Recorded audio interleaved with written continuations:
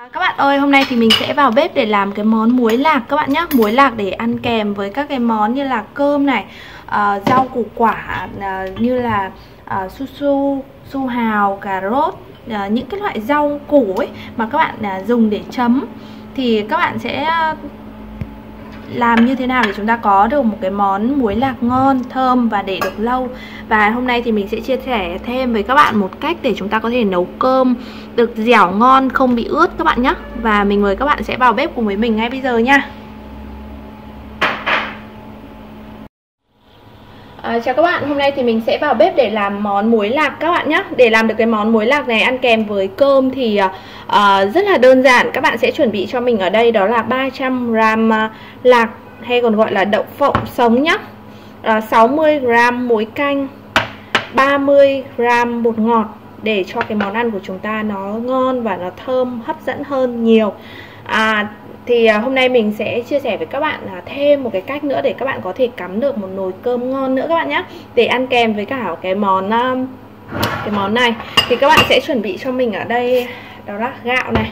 Gạo sau khi mà các bạn à, đong vào đây thì các bạn ở, ở nhà mình ấy thì hay ăn uh, gạo tám thơm thì nó thơm lắm. Còn nếu như các bạn mà ăn gạo bình thường mà chấm với cái uh, cái cái um, uh, muối lạc này cũng rất là ngon các bạn ạ. Thơm lắm. Cơm nắm chấm với muối lạc làm cái món mà các bạn nhỏ sẽ rất là thích. Hoặc là nếu như mà các bạn đi chơi đi picnic ấy thì các bạn có thể um, cắm cơm sau đó mình làm thêm muối lạc nữa mang đi để ăn các bạn nhé. À, bây giờ thì mình à, trước hết là các bạn sẽ phải vo sạch cái gạo này đi cho mình. Sau đó thì mình mới đem cắm cơm nhé. À, sau khi mà các bạn đã vo gạo xong như thế này rồi thì các bạn à, mình sẽ hướng dẫn các bạn cách căn nước nhé để cơm không bị nhão và được dẻo thơm ngon. Thì khi mà các bạn cho nước vào gạo các bạn nghiêng cho mình một góc 30 độ như thế này. Mà các bạn thấy cái phần nước này đây ạ các bạn nhìn rõ không? Thì à, cái phần nước nhá cái phần nước nó ở ngang ở một nửa một nửa cái xong như thế này thì à, nước sẽ đạt và các bạn sẽ cắm cơm không bao giờ lo là bị nhão nhá. Và để cơm nó được thơm hơn thì mình sẽ dùng vào đây một cái lá nếp như thế này để cho cái cơm của mình nó ngon các bạn nha và bây giờ thì mình đem cắm vào nồi cơm điện. Nảy nấc lên cái là cơm chín các bạn nha đó, các bạn sẽ để nồi cơm cho mình ở chế độ nấu như thế này các bạn đậy vung lại và các bạn nấu cơm thôi. Thì à, đảm bảo là lát nữa cơm sẽ rất là thơm và ngon các bạn nhé và trong lúc mà mình chờ cơm chín ấy thì mình sẽ đi làm cái ờ, muối lạc rang các bạn nhé bây giờ thì à, trong lúc chờ cái cơm nó chín thì chúng ta sẽ đi làm cái à, bây giờ thì các bạn sẽ rang cho mình cái phần lạc này trước các bạn nhé à, còn cái phần muối á, thì à, muối và bột ngọt thì chúng ta sẽ rang sau để trộn sau nhé à, để rang cái phần lạc hay còn gọi là đậu phộng này được ngon thì các bạn sẽ làm nóng chảo trước nhá. Khi mà các bạn thấy chảo nóng rồi thì các bạn mới cho cái phần đậu phộng vào để mình rang. Và các bạn lưu ý cho mình để rang đậu phộng được ngon giòn và nó không có bị ỉu thì à, các bạn sẽ rang ở lửa vừa phải cho mình không rang lửa lớn các bạn nhé rang lửa lớn thì thường là nó sẽ bị cháy cái phần vỏ ngoài và bên trong thì nó vẫn còn uh, rất là ướt. Thì cái món đậu phộng muối của mình nó không để được lâu khi mà các bạn rang khô được rồi ấy, thì các bạn sẽ để được rất là lâu nha. À, khi mà các bạn làm như thế này các bạn có thể thêm một chút vừng trắng hoặc một chút vừng đen rang cùng. À, rang rang sau khi mà rang cái này xong các bạn rang rang tiếp thêm cho mình một chút vừng trắng hoặc là vừng đen á thì để cho nó được uh, thơm hơn cái mùi vừng. Nhưng mà ở đây thì mình chỉ muốn làm muối lạc thôi tại vì là các bạn nhỏ nhà mình là không có ăn uh, vừng á các bạn ạ. Đó mình người lớn mình còn biết là vừng tốt cho sức khỏe nhưng mà các bạn nhỏ các bạn thích ăn gì các bạn ăn thôi. Đó các bạn là rang cho mình ở lửa vừa lửa trung bình nhá. Ở nhà mình đó là bếp nhiệt à, bếp từ á thì mình dùng ở mức 6 còn nếu như mà các bạn à, rang bếp ga thì các bạn để ở cái nước giữa ấy. Đó nước giữa thì nó nó à, giữa giữa cái nút min và mắc ấy thì các bạn sẽ được cái lửa trung bình. Thì mình rang như vậy thì cái lạc nó không có bị cháy các bạn ơi khi mà các bạn rang các bạn thấy cái phần lạc nó bắt đầu nổ tách tách như thế này nó tách cái phần vỏ được ra rồi ấy thì mình sẽ rang thêm khoảng 5 phút nữa. Và các bạn giảm lửa đi một chút cho mình nhé các bạn sẽ thấy là cái phần lạc nó nó, nó rất là chín nhưng mà mình muốn nó giòn và để được lâu hơn ấy thì các bạn sẽ rang cho mình với lửa nhỏ thôi.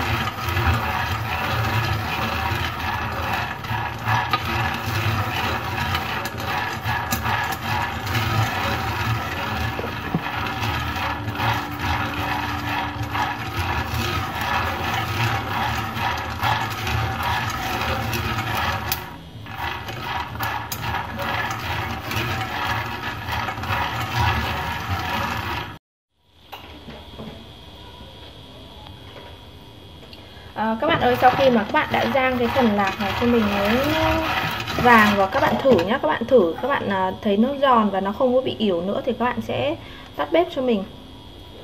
Mình sẽ thử một một viên nha. Ừ. Đó, rất là giòn rồi. Bây giờ thì các bạn sẽ tắt bếp cho mình và cho ra một cái mẹp hoặc là để hạ khổ nhé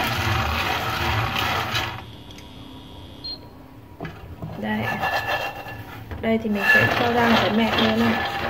Để cho nó nguội sau đó thì mình mới làm tiếp.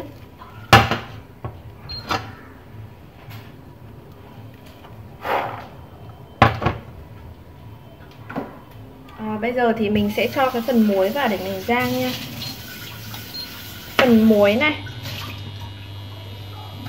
Các bạn rang để cho nó khô lên thì chúng ta sẽ để được lâu hơn. Các bạn rang là lửa nhỏ cho mình nhé để cho cái phần muối nó không bị cháy. Đó, cái chảo nó đã rất là nóng rồi. Cho nên là chúng ta cho vào cái này các bạn sẽ thấy nó có cái màu hơi hơi hơi vàng một chút này. Đó. các bạn đổ cho mình ra một cái bát nhé các bạn cho vào như vậy cho là cái muối của chúng ta nó nó sẽ um, khô đây sau khi mà các bạn rang xong cái phần muối rồi ấy thì các bạn sẽ làm cho cái phần đậu phộng này nó nguội đi một chút sau đó thì các bạn sẽ tách vỏ nhé mình tách hết vỏ sau đó mình mới đem đi rồi mình giã nha. À, sau khi mà các bạn để cho mình cái phần lạc này nó nguội rồi ấy thì các bạn sẽ à, văn vỏ cho mình nhé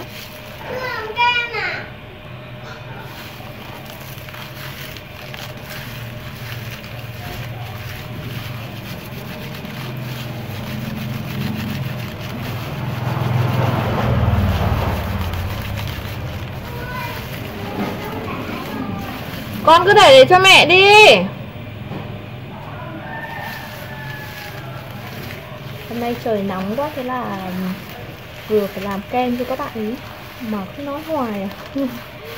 Các bạn nhỏ. Chưa cả kịp đông đã hỏi mẹ ơi là có kem chưa? Đó các bạn ơi Các bạn sẽ văn vỏ cho mình thật là sạch nhá. Sau đó các bạn phổi hết cái phần vỏ đi mình chỉ lấy cái phần lạc và đậu phộng thôi. À, bây giờ thì các bạn sẽ thổi cho mình hết cái phần à, vỏ đi nhé à, sau khi mà các bạn đã làm sạch cho mình cái phần lạc như thế này rồi thì các bạn sẽ cho vào trong một cái cối các bạn xay. Hoặc là nếu như mà các bạn mà không có cối các bạn có thể dùng cái máy xay à, cái cối xay ở máy xay sinh tố ấy. Các bạn à, xay cũng được sau đó thì các bạn sẽ giã nhỏ ra cho mình nhé.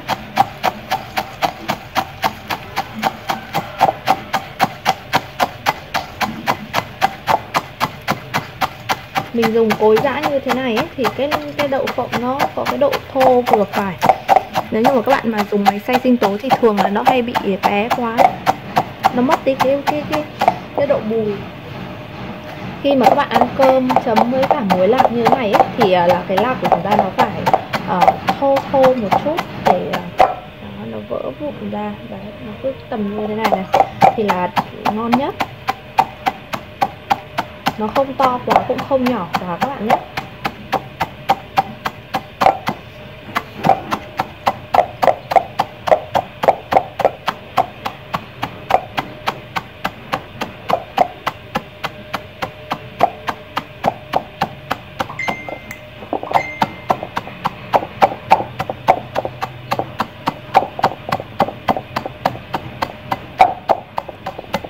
Cái muối lạc này thì các bạn có thể chấm với cả uh, cơm nắm hoặc là chấm rau uh, rau luộc ví dụ như là củ cải này cà rốt này hoặc là su hào luộc ấy su su luộc nữa.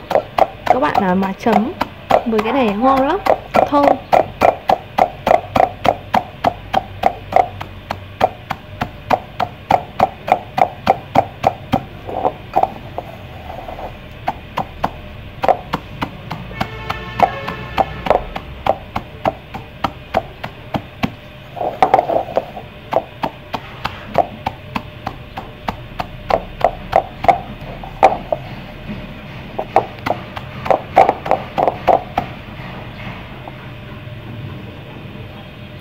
Khi mà các bạn là uh, khi mà các bạn thấy cái cái phần là đậu phộng này của chúng ta nó nhỏ như thế này rồi mình chỉ đã nhỏ như thế này thôi các bạn nhé nhỏ quá thì à, nó không, không có ngon đâu.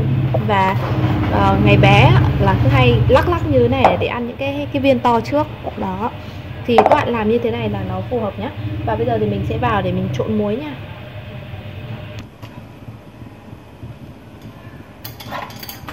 À, bây giờ thì các bạn sẽ trộn cái phần uh, muối mà vừa nãy các bạn rang vào nhé Đó, các bạn trộn cho mình 1 phần 2 trước. Để xem xem là cái lượng muối và cái lượng à, các bạn cho vào đây 1 phần 2 cái muỗng bột ngọt. Các bạn thêm bột ngọt cho mình. Bạn trộn đều lên nhé. Vậy thì mình sẽ chỉ cho 1 phần 2 cái chút muối vừa rồi thôi bây giờ các bạn nếm. Cái phần muối lạc luôn có cái vị vừa phải. Nó không có mặn quá các bạn nhé. Thì là nó ngon. Nếu các bạn mà làm mặn quá thì thường là nó, nó không có ngon đâu. Đó bây giờ thì à, mình sẽ đi kiểm tra cái phần cơm nha. Xem cơm chín chưa các bạn nhé. Đây. Bây giờ thì um, mùi cơm thơm nức luôn này các bạn ơi. Và các bạn thấy không? Nó không hề bị nhả một chút nào cả các bạn sẽ bỏ cho mình cái phần lá dứa ra nhé. Và các bạn là ghế cái phần cơm này lên này. Đó các bạn thấy không? Cơm của chúng ta nó rất là là dẻo nó không có bị ướt hoặc là không có bị à, khô quá nhé. Các bạn căn nước cho mình như vậy là là vừa.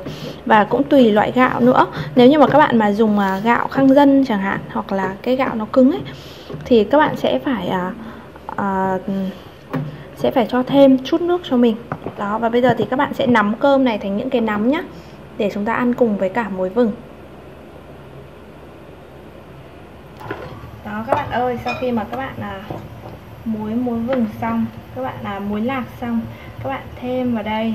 Đó các bạn thêm cái, cái phần lạc vào đây nha. Để mình chấm với cả cơm cơm nắm như thế này rất là ngon. Và mình xin kết thúc video ở đây nhé chúc các bạn sẽ làm thành công cái món uh, muối lạc này các bạn nha.